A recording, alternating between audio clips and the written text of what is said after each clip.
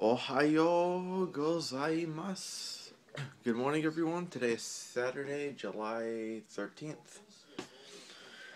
So, today's gonna be another laid back day like yesterday. Um, something I forgot to show you guys was the view yesterday. It's actually really nice. And then just some trees over here, but still a nice view. Just look at that. Some money shot right there. Anyway. So today we're getting back on the bus and don't actually know where we're going. Um, I think we're actually going to stay in the Hiroshima area for a little while and then we'll move on to our next destination. Um, I'll let you guys know when we get there, where we get there, and then, yep, that's pretty much it. So guys, um, I will see you when I next turn on my camera.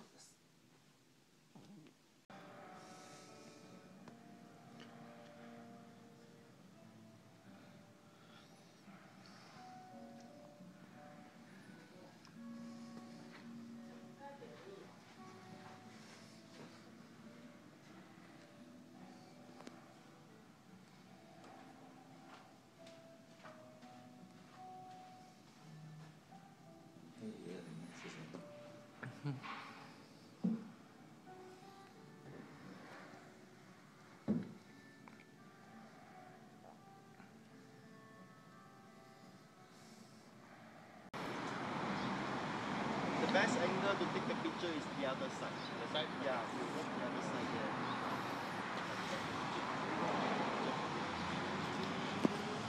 About 600 meters above this building right here that still stands today is where the first A bomb was used and exploded. Kind of a haunting thing to stare at.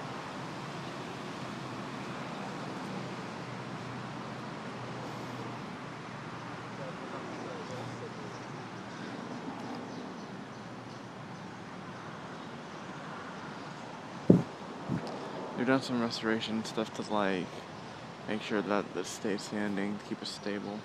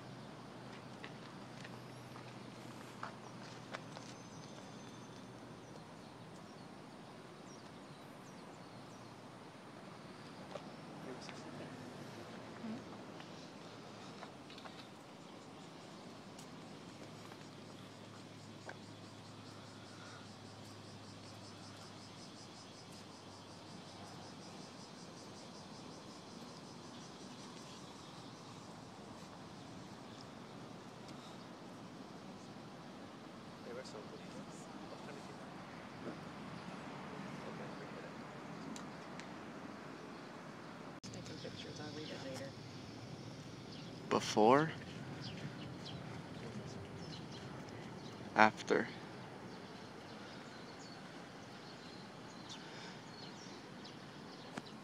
It's amazing this thing is still around.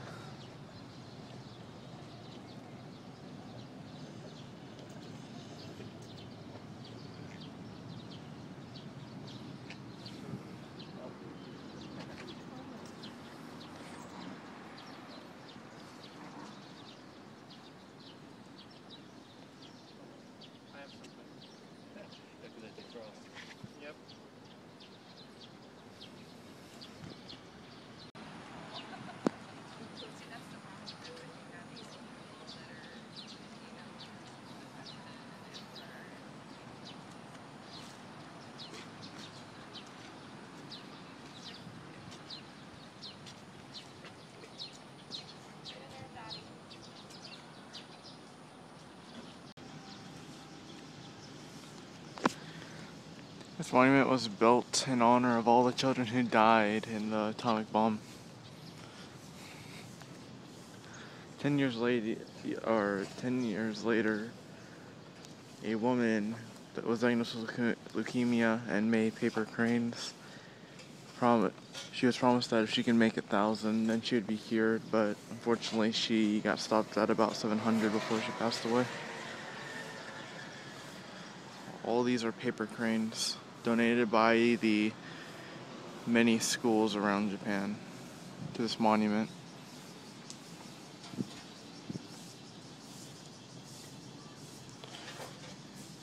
Everything you see here is paper crane.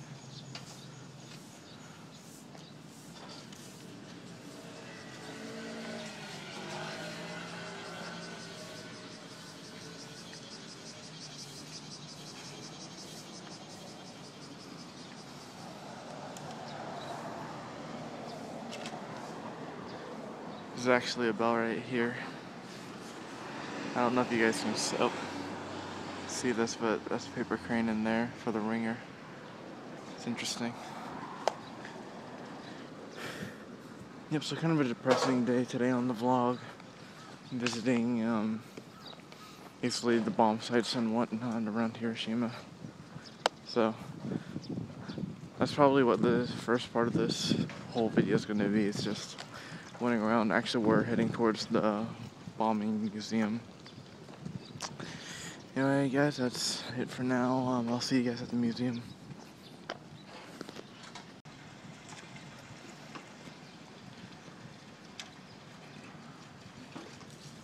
See a lot from this monument right here. You can see the building. I don't know if you guys can see it on the video, but there's a flame right there. A little lower in that metal platform. It's basically going to stay lit until the world has no more nuclear weapons. Unfortunately, that's never going to happen.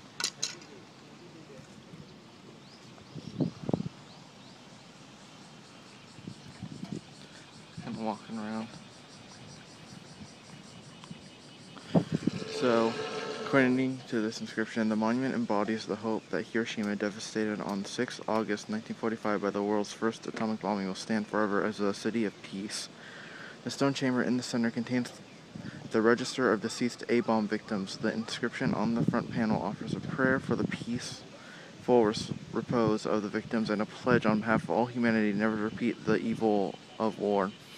It expresses the spirit of Hiroshima, enduring grief, transcending hatred, pursuing harmony and prosperity for all, and yearning for genuine, lasting world peace. That's what a plaque reads in the water. Anyway, guys, I'm gonna be moving on now.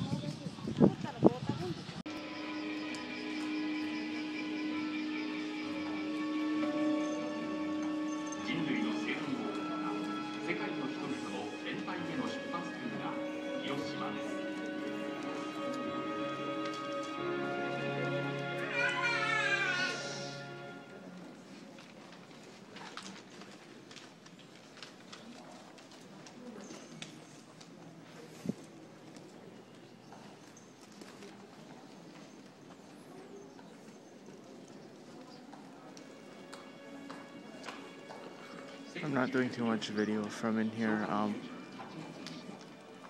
I'll start videoing again when I get to the two circles, but after that, I'm probably not going to video too much more. To just let you guys know.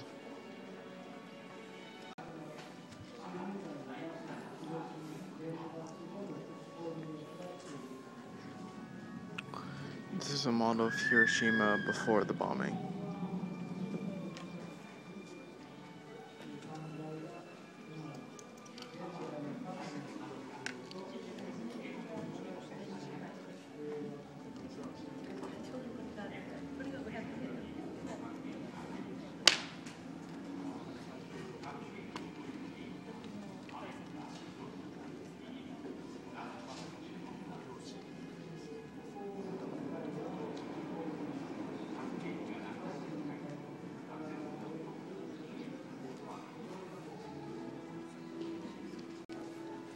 That green building right there in the center of the screen is the building where I did a video of. That's the one of the oldest buildings left standing.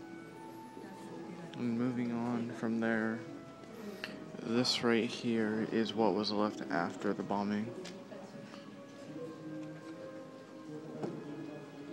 That red pole right there is where the bomb was dropped, where it exploded over Hiroshima. And then, as you can see, that's the ruins of the area that we just visited right there in the Dirt Center.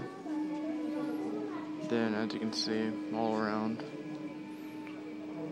this is the havoc that an atomic bomb can cause. It's very eerie. Sorry this vlog is so depressing, but this is this is what we did 1945. Something something I didn't notice if you actually look up there's a red ball that represents where the bomb was dropped and the fireball that resulted. So that's the bomb. There's the hypocenter, and then that's the havoc. See all these? These are all letters of protest. Whenever um, there's a nuclear test after night in any country since 1968, the mayor of Hiroshima has sent a letter of protest to the country that is testing. There's some right here. There's a bunch more on that wall over there.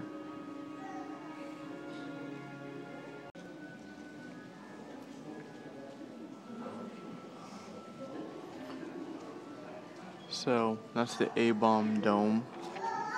That's the building we saw earlier. And if you guys can see the black line reading, if you can follow that black line all the way down, Hypocenter was above a hospital. And actually, this is a model of the A-bomb dome from the inside. Kept as a reminder to the pain and suffering that it brought.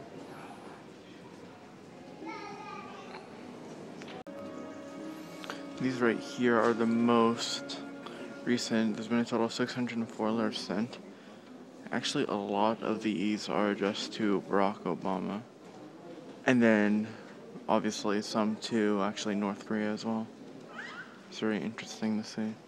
But they've been staying up to date with it.